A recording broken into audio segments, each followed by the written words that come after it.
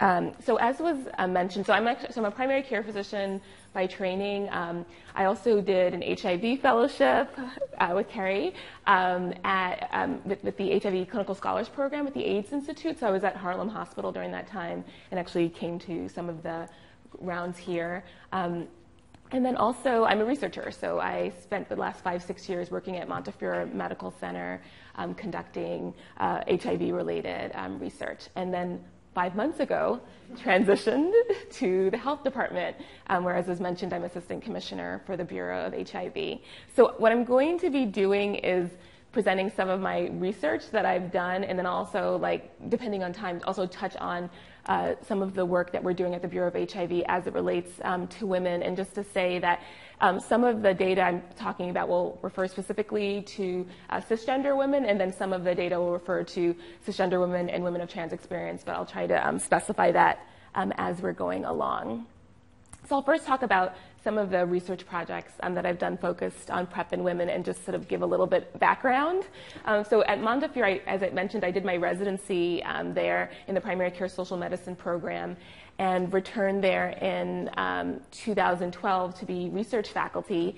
Um, and that was around the time that uh, Truvada um, was approved for PrEP and got to be part of a really exciting program called Engage NYC that my colleague um, Viraj Patel and Dr. Rob Beal um, started at our clinic, where they used um, sort of advertisements on dating websites um, about PrEP and primary care to engage um, young Black and Latino MSM in PrEP care and primary care overall. And so that was a really exciting project to be a program to be part of. Um, seeing young men coming in, sometimes people came in just for PrEP, and we'd find they also had undiagnosed high blood pressure. And so it really, really highlighted the ways in which PrEP could also be a gateway drug, as they say, to primary care, which is great. Um, but as I was um, seeing patients, I noticed that we weren't seeing um, many women coming in um, asking about PrEP who were on PrEP. And so, um, so we started thinking about, hmm, what are the opportunities here um, to engage women around PrEP? So I'm just going to use this as an opportunity to share some of the data in terms of New York City around PrEP, around women and HIV diagnoses, and then go back to some of my the projects that I've done. So this is just to show you that new HIV diagnoses um, by gender, um, the way that new, the health department categorizes male includes both um, cisgender men and trans men, and then female includes both cis and trans women. And as you can see, overall, there have been declines from 2012 to 2016. Um, women account for, in 2016, 22% of new HIV diagnoses, and about 20% um, of women who were diagnosed with HIV also were diagnosed with a concurrent AIDS diagnosis at the time. Um, and so, even though the, the um, overall trend has been that of a decline, from 2015 to 2016, we did see um, a 5% increase in the number of new diagnoses among women. Um, and that is, we don't really know actually if that's the start of a trend or just a year to year fluctuation. So once we get 2017 data all together, which will be the end of this year, we'll be able to see where, that, where that's going.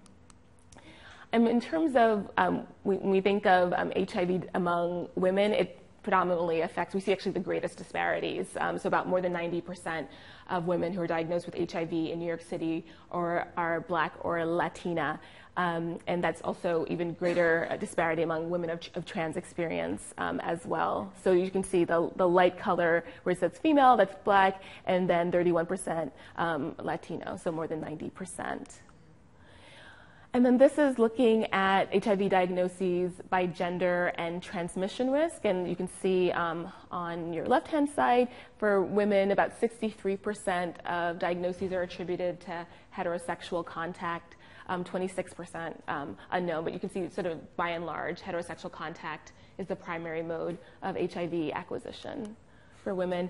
And this also just shows HIV diagnoses in women by age. So for cisgender women, we primarily see um, those affected by HIV who are being diagnosed 30 to 59, so tends to skew a little older. And for women of trans experience, it's a younger group, about 20 um, to 29 years old. So um, at the health department, we've also looked at awareness about PrEP, um, and this is, focuses on um, cisgender women. There's a survey that we do every year called the Sexual Health Survey, and um, this survey asks about PrEP awareness. Um, and in 2016, when it was done among about 400 participants, about a quarter had ever heard um, of PrEP. Um, awareness was associated with those who were younger, those who were born in the United States, those with a higher educational level and higher income. And then in multivariable analysis, um, awareness was significantly um, associated with women with um, uh, awareness, what was lower among women um, with lower incomes. Among the sample, 13% had an indication for PrEP, whether we're looking at both um, national guidance or New York State guidelines.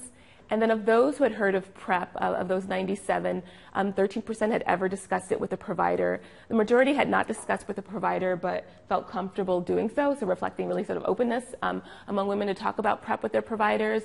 39% did not believe or were not sure whether PrEP was effective, and this is something that has come up, um, and about 19% were interested in PrEP. And of the 400 women in the sample, only um, two had reported um, ever using PrEP. And when we look at awareness, so it was 25% in this sample. Um, we look at MSM, um, the rates of awareness are, are greater than 90%, so really big differences. This is also data from our um, primary care information project, which looks at 600 um, primary care practices around the city and looks at tr- trends in prescriptions and so this shows um, in the red are PrEP prescriptions from 2014 to 2016 um, that are going um, to men. And so these are like kind of big buckets. We don't know sort of where um, people with trans experience would fit into some of these buckets.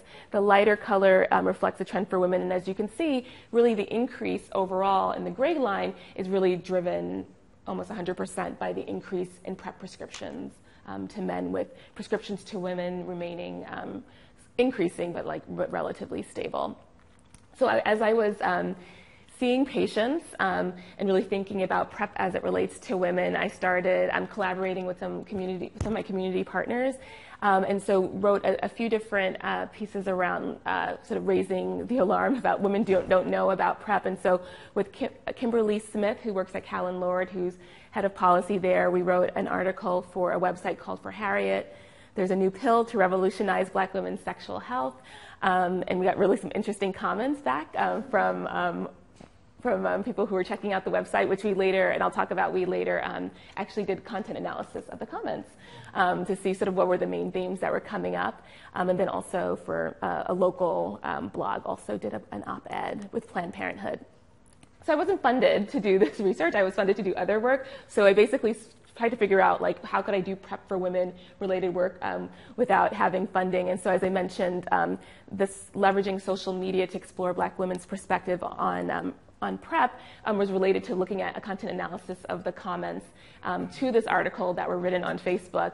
And um, there were many comments that women had, but a lot of them really mistrust was a huge part of this. Actually, a lot of women were really sort of worried about the safety overall of PrEP, but also the effects it could have on their reproductive health and health in general, which was interesting. I think really highlighted the importance when we, as provide, clinical providers, really when we, or even as non-clinical providers, when we talk to patients, maybe even preemptively, really sort of highlighting what we know about the safety of these medications, how they've been used in people living with HIV, you know, since 2004, and things like that.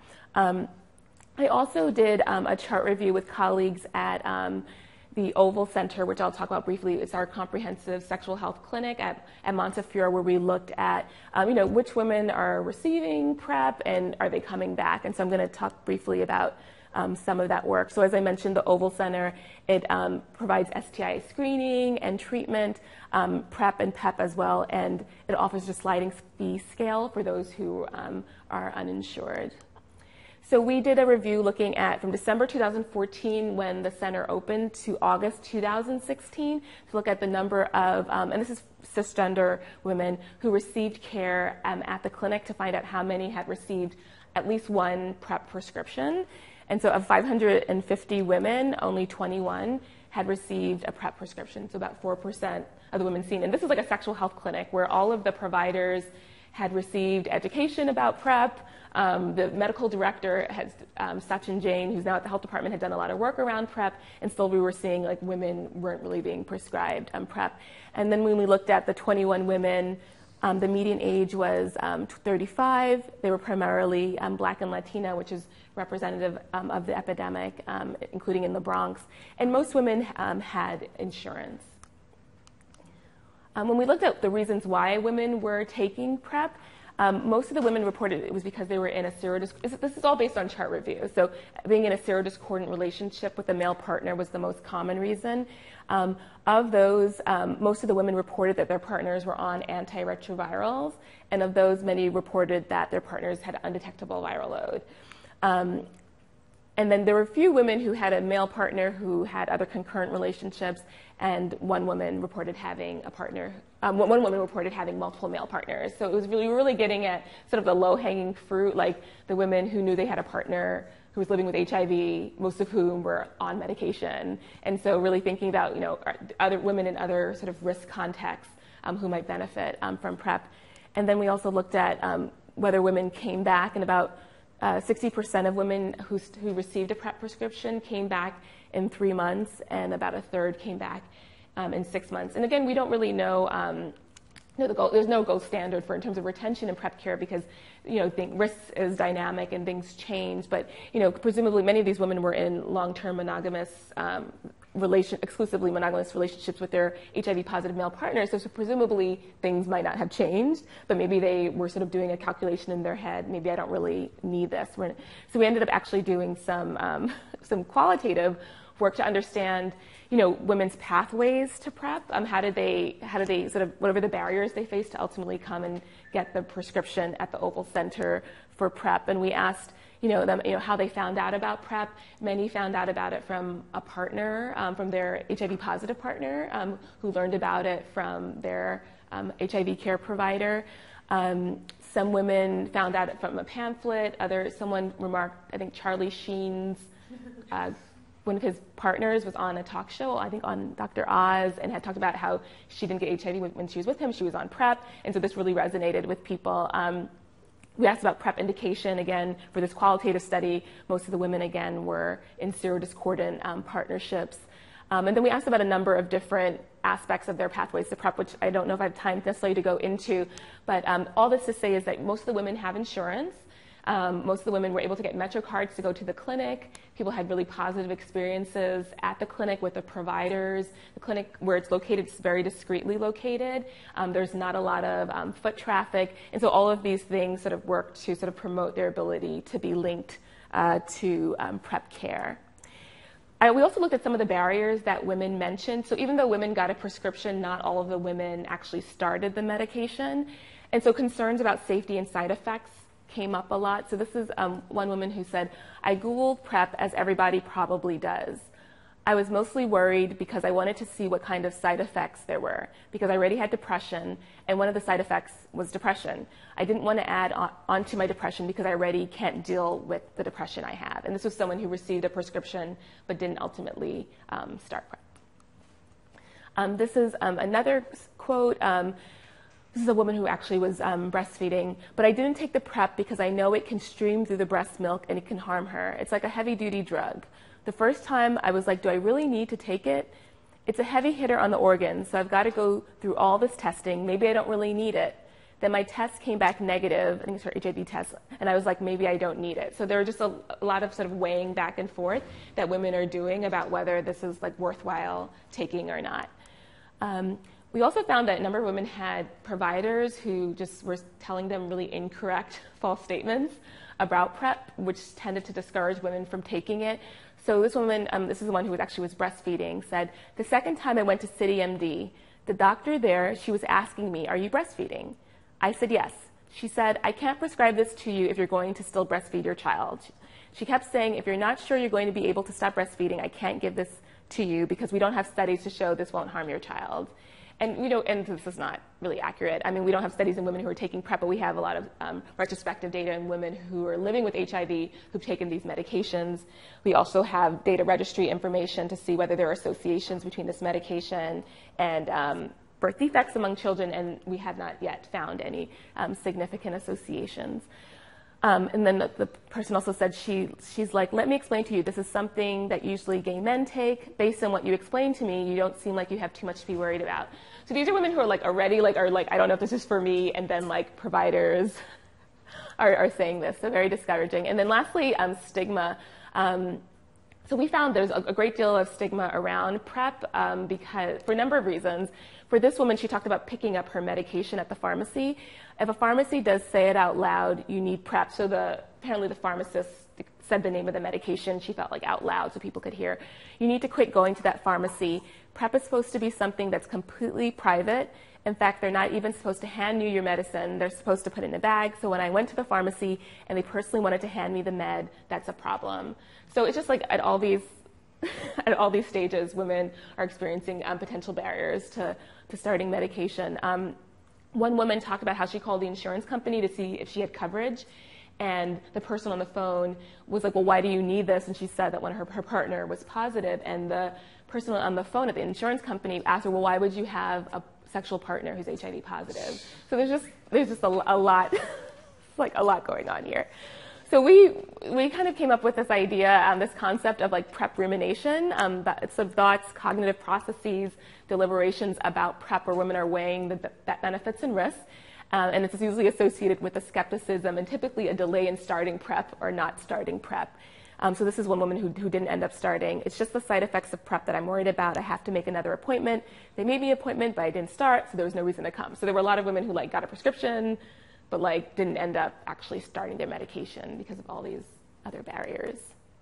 Okay, so just from doing some of this work um, and looking at the fact that we were finding a lot of women who were in serodiscordant um, partnerships, and I was interested in women who, who had other sort of behaviors that might place them at risk or other risk contexts. Um, I um, embarked on a study where we developed a PrEP peer navigation and outreach intervention. Um, and we did this work, um, it focused on women of trans experience and cis women with New York harm reduction educators, um, NYRE, um, who are located in East Harlem in the Bronx. And so um, they provide harm reduction services um, and specifically mobile syringe exchange. So there are sites, they have about nine sites throughout Harlem and the South Bronx where they have like vans like that, or there'll be people with two large like duffel bags where you can get clean syringes, you can return old syringes, HIV testing, condoms, et cetera.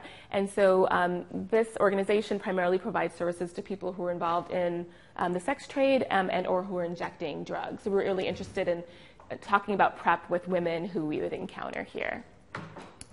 Um, so as I mentioned, we just basically embedded uh, the work that we were doing into their peer-delivered services. So they use peers anyway to deliver information about harm reduction, to do syringe exchange. So we said, well, why don't we just do the same thing, but um, provide education around PrEP um, and counseling around PrEP, and then also referral to PrEP care if women were interested. So we had um, two, two peers, one who was a cisgender woman, one who's a woman of trans experience, um, they receive training in harm reduction, PrEP education counseling um, through the New York City Health Department's um, training, and then also with linkage to PrEP um, and navigation, and then training in motivational interviewing too. And so the components of this intervention that we developed include some of brief education about PrEP, like what is PrEP, how does it work, what doesn't it do, what are some of the side effects, and how you take it. Um, there was also a counseling component which used, was sort of in the spirit of motivational interviewing and sort of worked with people to identify pros and cons about taking PrEP. And then the peers um, were um, available to provide reminders, accompany women to appointments, um, help with scheduling, and then we also provided uh, Metro cards um, to PrEP appointments at a local clinic. Um, and so we recruited women, as I mentioned, at these uh, nine mobile syringe exchange sites. NYRE, the organization we worked with, is also affiliated. It's actually part of Washington Heights Corner Project, which um, which has a, a drop-in center for women who are involved in sex work. So they usually Friday nights will go there, get food, hang out before they um, go out to work. So we recruited women there as well. We had really broad eligibility criteria because of where we were recruiting. Um, we also didn't want women to feel like they couldn't be forthcoming about their HIV status or their behavior. So you just had to be a self-identified woman who was proficient in English and 18 years or older. We also enrolled HIV positive women and linked them to the program's HIV care and navigation peer services. Um, so we passed out this flyer at the different syringe exchange sites. Um, would you like to be connected to care and services you need? Um, so for the initial, um, and I'll talk about the flow of the, the study, but for the initial encounter, which involved um, doing a, completing a questionnaire and receiving education and counseling about PrEP, we offered a $40 gift card, and then um, for subsequent follow-up survey, um, $25 and so we just were at these sites, the same sites every week, so women knew we were there and they could come um, to be recruited. So, in terms of the flow of our intervention, um, so our peers did outreach again at these mobile syringe exchange sites in the drop-in center. Everything was done on an iPad, so we did e-consent. We conducted a baseline survey that asked about socio-demographic characteristics, sexual and drug use behaviors, PrEP awareness, HIV beliefs and attitudes. And then once the women completed the survey, the peer delivered about 10 minutes of education and counseling about PrEP. And then the peer would then say, are you interested in PrEP? Are you interested in learning more? Would you like an appointment? And so we would offer um, an appointment at a nearby one, the nearby clinic. Um, and if it was during the hours the clinic was open, we'd get on the phone with our PrEP navigator at the clinic to give the person, um, the, the, participant, their date and time of their appointment. If it was after hours, the PrEP navigator would call the women um, the next morning with the appointment um, and day and time. Um, and then the peers would provide assistance with attending the first few appointments. Um, and then I should also say that we um, also didn't just offer referral to the clinic to, for PrEP only. So if women needed OB-GYN care, general primary care, if they needed housing, we provided referral mental health. We would walk women actually to NIRI if people needed social work referral. So we were also trying to address you know, a lot of the other social and structural barriers um, that women were facing. And then ultimately, we hope that they got to the clinic um, and saw a provider um, to be evaluated for PrEP. Um, so, as I mentioned, we did surveys at baseline during that initial encounter, and then four to 12 weeks later. Um, and then we also did um, qualitative interviews um, at follow up with the participants, the CBO staff, and with our peers. And I'll just talk about the follow up interviews with the peers. And then this is some of our analysis. And then so we ended up over probably a three month period recruiting 64 women. Um, so this is just a pilot study in terms of assessing um, feasibility and um, acceptability. And so sort of a range of ages. Um, about a quarter of the women were women of um, trans experience. Most of the women were um, black and Latina, sort of reflective of the demographics in the Bronx. Uh, most, many of the women um, considered themselves to be straight, although a third uh, or quarter um, considered themselves bisexual.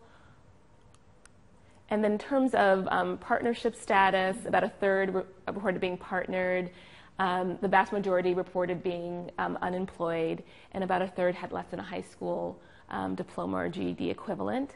half were housing insecure, and the majority had health insurance. So I, th- I think we talk about, I was talking to Dr. Wingood earlier, you know, a lot of people like have, you know, insurance. It's not the issue. It's all the other, you know, barriers that get in the way of people actually being able to access um, care. What is housing insecure? Oh, so we add, so we actually ended up dichotomizing. We asked about like being double. So basically, if they didn't have their own apartment, we considered them housing insecure. Like if they were doubled up, sleeping at someone else's place, sleeping in some other street location, we considered that housing insecure. Um, about so about 12% of the women that we recruited were um, HIV positive, and so we ended up referring um, those women to um, the HIV peer navigator. Um, everyone refused. everyone said they actually had their own providers. Um, and that they didn't need um, our assistance. whether they were like engaged in care at that time was a, another issue. But most, many people do have providers that they, they recognize as their primary provider. about three quarters of the women were sexually active. A third reported engaging in exchange sex, and about a quarter reported um, injecting drugs. Um, in terms of PrEP awareness, about half um, reported hearing about having heard of PrEP, and a third said they'd asked their healthcare provider about PrEP. We try to distinguish between like post-exposure, because I think there may have been some confusion between like post-exposure prophylaxis and pre-exposure prophylaxis. So we were very clear, we clearly defined what they were for the women. Um, I have to say some women were intoxicated, you know, when they were interviewed, and there are a lot of things that might have limited people's understanding of what we were asking. Um, but this, so a third um, said they had asked their healthcare provider about PrEP. Um, 45% of the women who were aware had a healthcare provider talk to them about PrEP. Um, about six women reported having been prescribed PrEP. One said that she had, was still on PrEP at the time that she was interviewed. And about half said they knew someone who was um, taking PrEP. Um, in terms of HIV-related worry, we, this is another um, measure that we dichotomized, but about half of the women reported a high level of HIV worry about HIV, sort of thinking about it often, but only 25% um, considered themselves necessarily at high risk um, for HIV. And so this is our PrEP care continuum for this project. So we, of the 52 HIV negative women who received the intervention, um, 38 expressed interest in PrEP. Um, 27, or half of the women, accepted a PrEP appointment.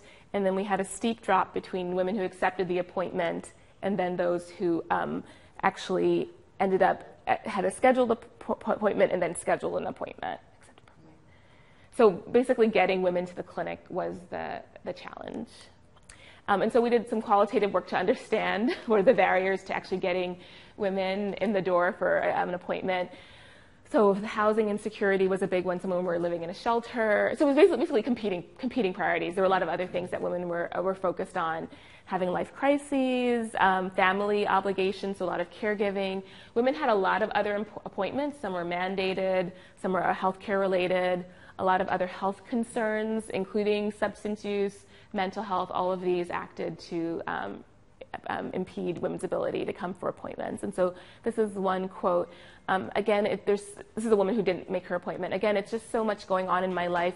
All these doctor's appointments that I have going on. I go to physical therapy. Then I have to go take care of my son. I still got to take care of the house. I still got to work. So it's just not the top. It's not on the top of the list.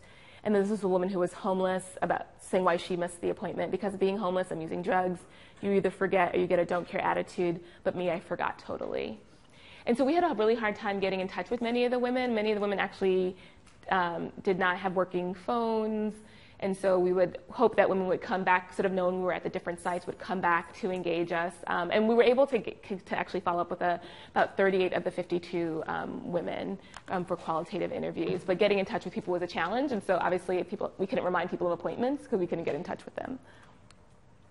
Oh, and so these are just some conclusions. Um, so we were able to definitely recruit women over a three-month period, working a few days a week. We were able to get a good number of women um, recruited to our study and to, to learn about PrEP. But, you know, as I said, we said, the majority reported interest, but only a minority actually made it to their appointment, and then competing barriers were a big part of this. And so, even though we were trying to take care of some of the other social and structural issues, I mean, I think a lot of this needs to like happen maybe probably beforehand in terms of um, being helpful for women in terms of stabilizing their lives before they can really consider PrEP. So I don't know, we were just maybe too early. And I think our approach would have been like, what do, what do you what do you need? What do you care about? Addressing those things and then being like, oh, and by the way, there's this thing called PrEP. Have you heard about it? As opposed to like PrEP being the first thing that we talk about with women. We also wondered whether just the delay from the time we offered appointment to the scheduled appointment usually was one to two weeks, whether that might have played a role. And so we could have taken women like that day to the doctor or the clinical provider, whether that might have made a difference. And then I also have um, written grants related to this, but like prescribing um, on-site PrEP. Um, so in the mobile van, so doing STI testing on the van, giving folks a seven-day supply or their 30-month supply of PrEP, really sort of bringing the care to women and not expecting women to have to come to a clinic that might not be convenient for them. Okay, so I'm going to like, I, I, don't know how much more time I have. I have some more time. Okay, I'm going to briefly touch on for the Bureau of HIV, so my new role, um, some of the initiatives that we're working on as they relate to PrEP and women. Um, and so firstly, um, we had a, a, a, social marketing campaign. I don't know if, if anyone, did anyone see picture the social marketing? I'm getting some nods. Um, so, you know, some other jurisdictions, I think DC, which is the PrEP for Her Dominate, where all the women are in white at the top. Um, I think that was the only jurisdiction that did a, a, specific PrEP for women, and this is for cis women. They're actually now doing one for um, women of trans experience. Um, and these are just some other campaigns that some of our community partners have done um, focused on women. But we felt that um, we were hearing a lot from the, our community partners that there was a need to do a specific campaign that targeted um, that targeted women. So we did some formative work actually that I was actually part of before I joined um, the health department. I was like one of the participants. And we found that um, women felt the marketing campaign should raise awareness about PrEP, because remember there was that 24% of women, of cisgender women, knew about PrEP. Um, most don't know what it is, and if they do know about it, they think or are told that it's exclusively, exclusively for men who have sex with men. Women felt like the campaign model should be diverse and should look like them, should have a range of race ethnicities, body shapes, ages. Um, women were very clear, even though we know HIV disproportionately targets uh, black and Latina women, they did not want to, want to just see black and Latina women. It was really important to see a range of women so that black and Latina women were not being stigmatized. Sex positivity was something that was very desirable. And then for women of trans experience, in our group, they felt like it was really important to be portrayed alongside um, cisgender women, and that our um, advertising addressed potential interactions of PrEP with hormone therapy. And so these are some of the um, images that were around the city, and they were also in English and Spanish. So the name of the campaign is Living Sure. Um, and so is all these different locations, and I think just, just finished wrapping up. Um, and these are just some sightings from actual train stations. Okay, and so what we're doing now in terms of this campaign, we're developing some palm cards that we hope to distribute to our community partners and also clinical sites that have sort of similar imaging and messaging. And really, the call to action is for women to talk with their providers um, about PrEP. We're also printing posters for distribution, which um, we're hoping to actually put up in WIC offices um, throughout the city and actually the rest of the state. So we're working with women, infant, and child um, offices um, to get um, the posters there. We feel like that's a really unique opportunity to raise awareness about PrEP, and then off, off also having an online repository because a lot of our community partners want to download the images for their for their work that they're doing. Then I'm going to talk very briefly about PrEP implementation in our PlaySure network. Have folks heard of the PlaySure network? It's a collaborative of both clinical and non-clinical. I think we have some representatives. Columbia, I think, is a, yeah is a member of the PlaySure network, and so it's basically this um, robust collaborative or network of um, providers who are working together um, to increase um, sort of navigation and linkage to um, PrEP and PEP. So we have HIV testing sites that um, do testing um, and link to um, PrEP and PEP clinics, community-based organizations that also help to deal with some of the uh, issues around social determinants of health and also with linkage to our PrEP clinics. We have them throughout the city. Those are all the different dots for our different PlaySure network sites. And so I was interested in understanding um, for cis women um, what the experience was for some of our um, PlaySure network partners who were being who was being enrolled.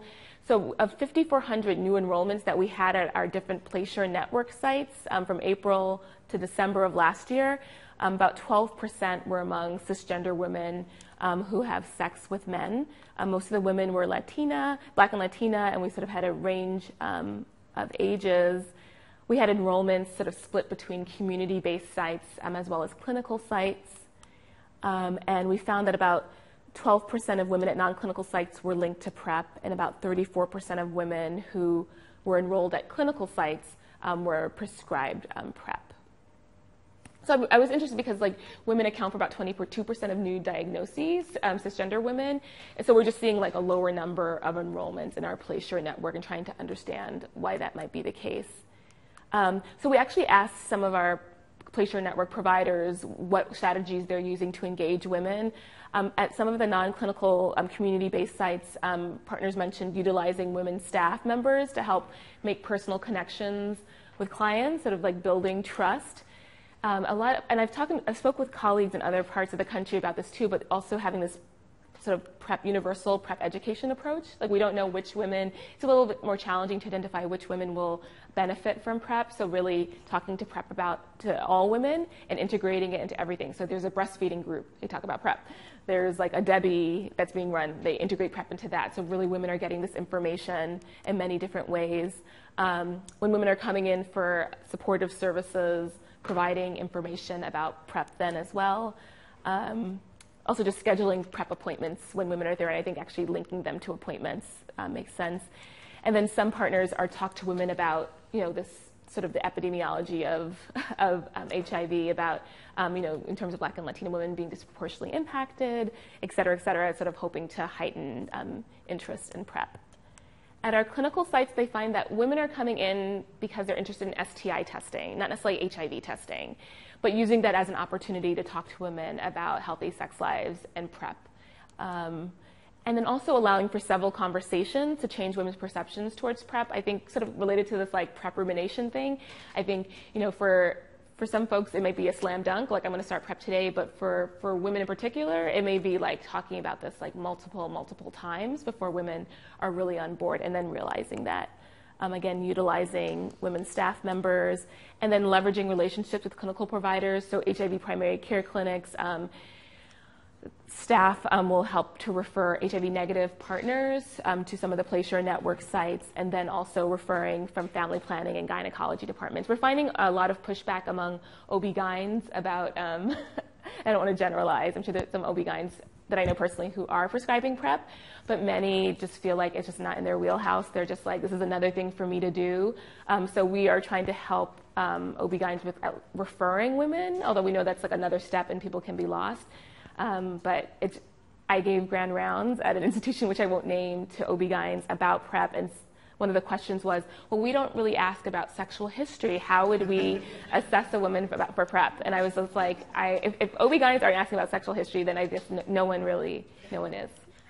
So it's really shocking. Okay, so just finishing up, um, we're also doing outreach to providers about PrEP for women.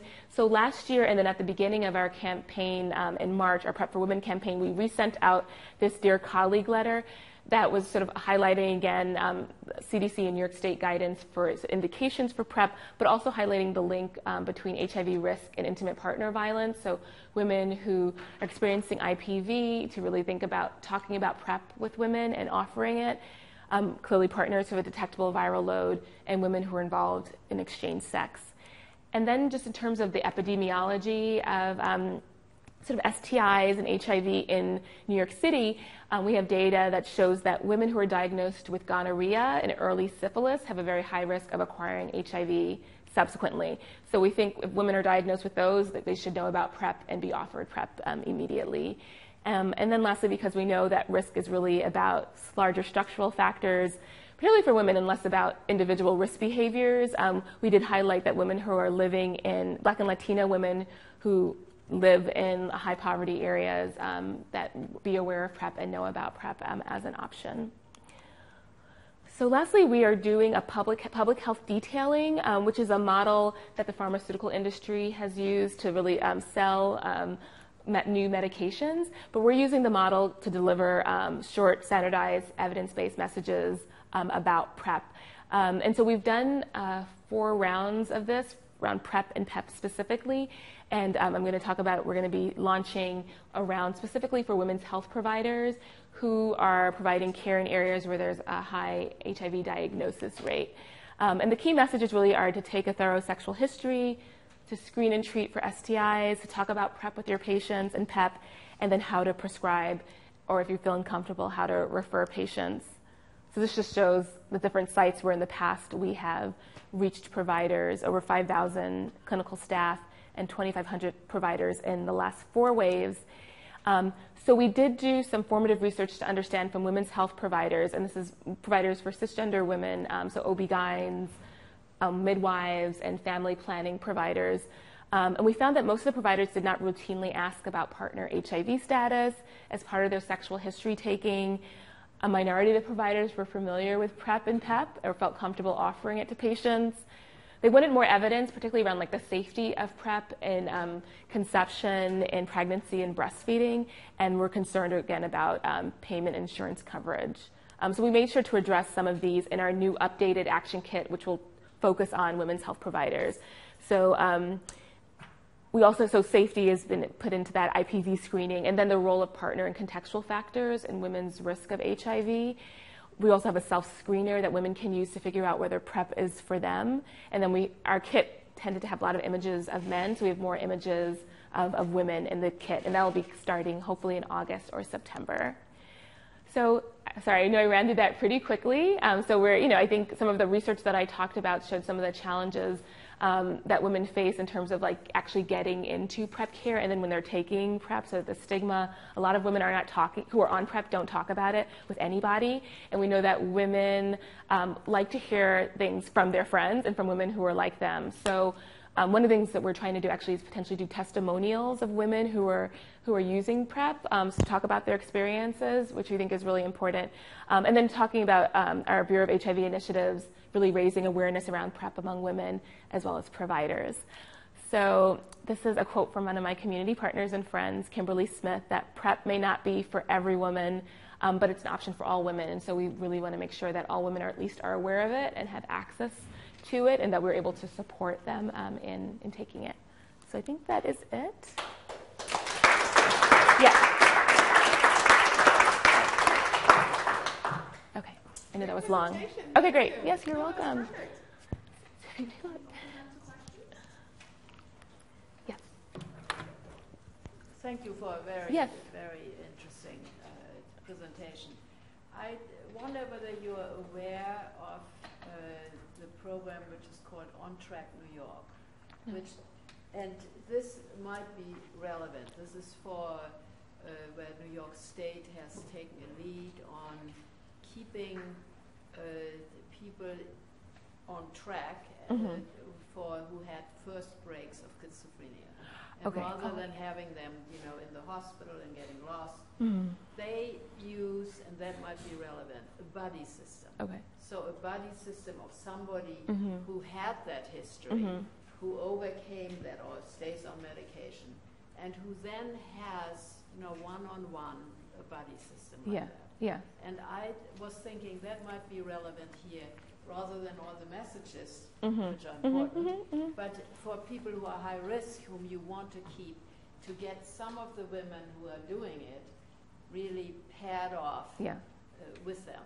And Yeah. if you have, you know, if on track New York, uh, uh, New York State is a leader in that, and we have a big group here Yeah. who, is, uh, who are doing it. So Okay. could also. Uh, Oh, that's great. Share with people. No, I think, and I really appreciate your comment. Um, I think, you know, in some of the studies in sub-Saharan Africa, so those are like the PrEP studies were conducted among cisgender women Right. there. Um, you know, they found very low rates of adherence in some of the studies. Um, but in those studies in which the rates were much higher of adherence, it was often because um, the women reported that their partners, like, were very supportive of them taking PrEP, and they would often take it with their HIV positive partner. But I just think it speaks to the point that um, of the support that's often needed um, for women in particular who have to deal with, you know, we have to deal with lots of other responsibilities Exactly. and to have that. So I appreciate um, what you're saying. We've also thought about like doing support group, like support groups for women taking PrEP, so that can, women can hear about other women's experiences. But I think, um, Like a one-on-one Yes. with some of the people who had Yes. experiences. Yes, Yeah. yeah, and we'd hope with the peers that we recruited peers for our intervention who had, had were taking PrEP, Right. but we weren't able to find women who were taking PrEP. But that was sort of part of the idea of someone who like Yes. has the experience um, supporting the women. Yeah. Hi. Um, I was just wondering if you looked at birth control at all? Like in the first two studies, if any of the women were also taking the pill and didn't want to have to worry about taking a second pill every day? Right. there's like a misconception that it messes with birth control? Yeah, so we did. I, we, we're still like analyzing our data from our intervention, um, and we, we did ask about birth control, but I don't have that just yet. But I, but it's a great it's a great point. Um, yes, no, this has this has come up a lot. I do have a colleague, Sarah Calabrese, who's at GW, who is looking at this, and I can hopefully maybe if I can get your information, um, I can ask her what she's found in her sample. Her sample was women at Planned Parenthood of, of New England, but they were looking at sort of correlates of like women's interested in prep, interest in prep and like what birth control methods they're taking. Um, yes, no, I think that's and, and you know there are multi-purpose technologies that are being that are in development, like rings that have like prep and contraceptive contraceptive hormones, blah blah blah. Yeah. So I, I'm sorry I came in That's fine. This is so exciting. I'm hoping to make some suggestions. Yes. that Make you feel compelled to have more partners. Yes. Sure. So one thing, I thought the cascade findings were very, very important. Yeah. I Wondered if there could be ways to build capacity, at least for PrEP screening on site. Mhm. Mhm. Or um, a colleague in, in DC had talked with me about um, using telemedicine. Yes. to Yeah. Up a, like an ID doc Mhm.